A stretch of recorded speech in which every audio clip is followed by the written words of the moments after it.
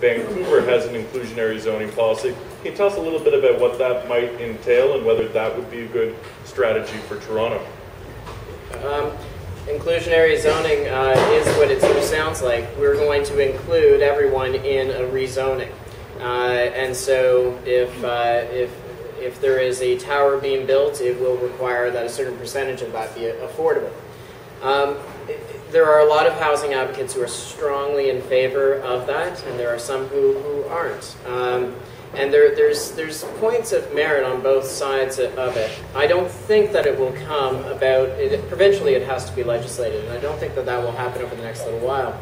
Um, but uh, uh, the challenges with inclusionary zoning um, are not every building is it appropriate for that to happen. I can't, I don't believe that Trump Tower it would be appropriate to necessarily have 30% of that housing be uh, affordable in, in that tower. Um, and so it needs to be uh, carefully done. I'm much more on the Section 37 side of things, which offers, instead of punitively saying to a developer, you've got to do it, and for something that might not necessarily fit, let's provide them cookies and benefits for doing it, and and actually have partnerships uh, in in making it ha happen. I'll give you a, a, quick example. I used to be with with Tridel.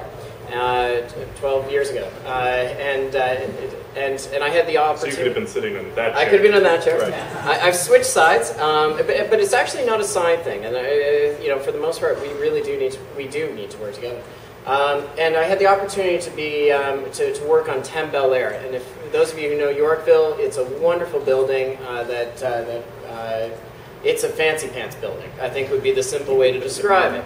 And we were required to build 10 affordable housing units. We were forced to do it. So we did. And we used the city's definition of affordable housing at the, at the time.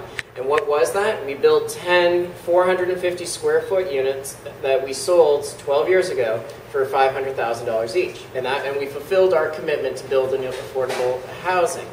And, and, and so when you force it in, there's a problem. But when you, and so, so I'm not a, a strong advocate in terms of uh, inclusionary zoning. I am much more an advocate on let's see if we can work with developers so that they benefit by doing good. Fair enough. Let's turn to you. I suspect there are going to be a number of questions.